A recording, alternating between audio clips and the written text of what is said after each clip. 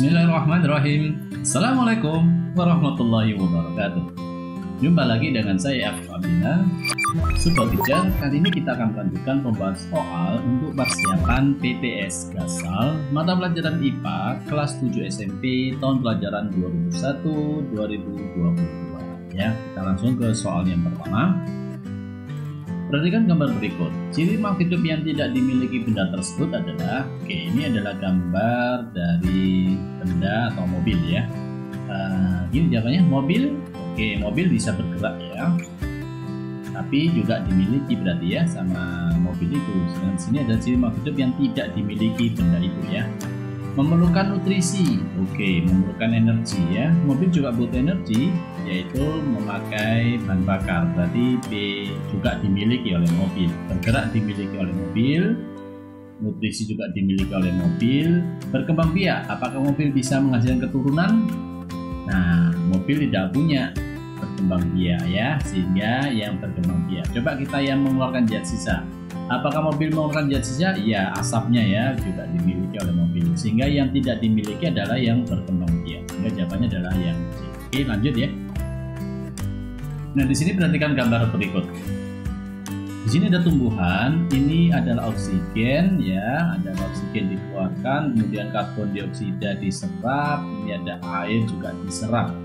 Aktivitas yang ditunjukkan oleh makhluk seperti gambar menunjukkan bahwa nah jika ada tumbuhan yang mengeluarkan oksigen, dia menyerap karbon dioksida, menyerap air, dan menyerap cahaya matahari, itu adalah proses fotosintesis, yaitu C2 ditambah H2O membutuhkan cahaya, dan zat hijau daun yaitu klorofil menghasilkan C6H12O6 atau karbohidrat atau papi atau glukosa plus oksigen ya.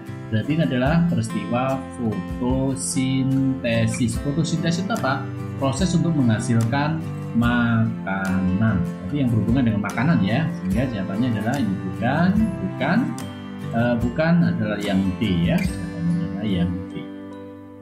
Oke lanjut. Berikut ini adalah tujuan klasifikasi. Klasifikasi itu bahasa lainnya adalah pengelompokan. Ya, pengelompokan. Kecuali hati-hati ada kata-kata kecuali mengenal berbagai makhluk betul ya. Kita mengelompokkan atau membagi-bagi, dikelompokkan di kelompok-kelompok tertentu yang sama ciri-cirinya atau sifatnya ya untuk mengenal berbagai makhluk Kemudian mengetahui manfaat makhluk hidup, ya betul. Mengetahui kekerabatan ya, ternyata ada hubungan kekerabatan juga betul ya mengetahui hewan mana yang bisa diternak atau dipelihara. Nah, ini yang bukan ya. Ini yang bukan. Jika jawabannya kecuali berarti yang D ya. Nah, Oke, lanjut.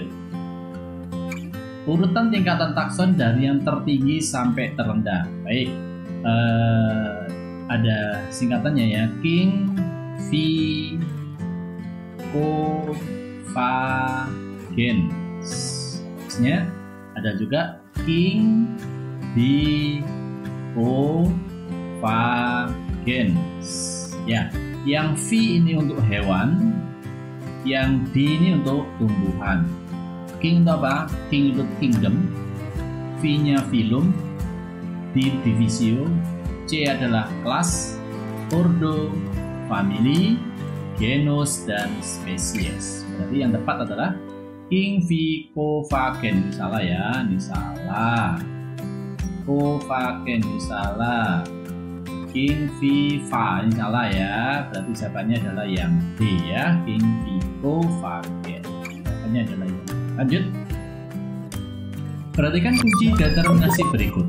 Kelabang atau lipan itu kan ini ini itu ya ini ada kakinya ya ini ada kakinya ini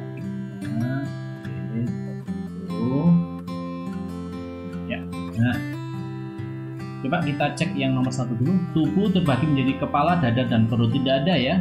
E, tidak terbagi kepala, dada, dan perut ya. Mungkin kepala sama dadanya tidak terlihat ya. Berarti nomor satu bukan satu A tapi satu B ya. Yang ada satuannya salah. Ini salah. Satu B sekarang. Satu B itu menuju ke nomor dua. Cara bacanya begitu. Satu B kan satu A salah. Satu B menuju ke dua sekarang dua Apakah nomor dua tubuh terbagi menjadi kepala, dada bersatu dan perut? Bukan ya? Oke, bukan. Tubuh terbagi menjadi kepala, badan berluas-luas. Nah ini ya, badannya ada ruas-ruasnya nih. Nah ini ruas-ruasnya. Oke, berarti kita menuju ke 2B ya, karena 2A salah. Yang ada duanya salah. Nah ini salah, ada duanya salah, ini ada dua salah ya sudah, jawabannya ya.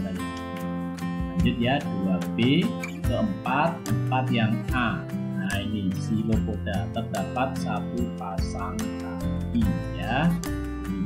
Silopoda. Oke, jadi jawabannya adalah yang D. Oke, lanjut. Berdasarkan sistem tata nama ganda binomial nomenklatur, cara penulisan yang benar untuk nama jenis tanaman pada gambar ini adalah maksudnya adalah penamaan kelapa ini ya. Ini Oke.